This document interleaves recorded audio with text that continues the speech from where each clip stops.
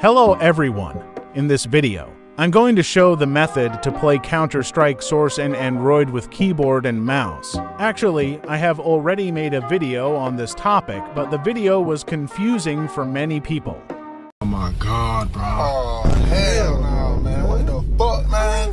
Get your That's why I'm making this new video with an easier and better tutorial.